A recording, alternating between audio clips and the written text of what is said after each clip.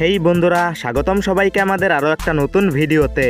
আজকের এই ভিডিওতে আমরা জানব ঈদুল আজহায় মুশফিকার ফারহানের আপকামিং সেরা পাঁচটি নাটক সম্পর্কে। যে নাটকগুলো রিলিজ হলেই রীতিমতো ঝড় তুলবে।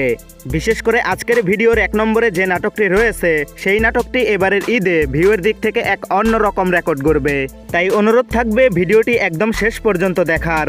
আর চ্যানেলে নতুন হলে সাবস্ক্রাইব করে ফেলুন।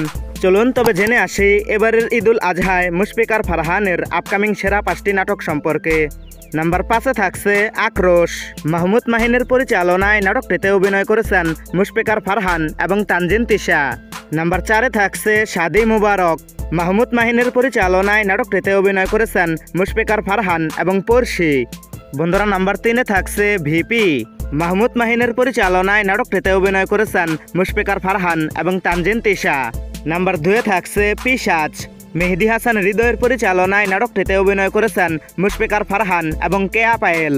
বন্ধুরা, নাম্বার একে থাকছে হেট স্টোরি মেহেদি হাসান হৃদয়ের পরিচালনায় নাটকটিতে অভিনয় করেছেন মুশফিকার ফারহান এবং সামিরা খান মাহি। বন্ধুরা, মুশফিকার ফারহানের আপকামিং এই পাঁচটি নাটকের মধ্যে আপনি কোন নাটকটি দেখার জন্য বেশি এক্সাইটেড অবশ্যই কমেন্ট করে জানিয়ে দিন।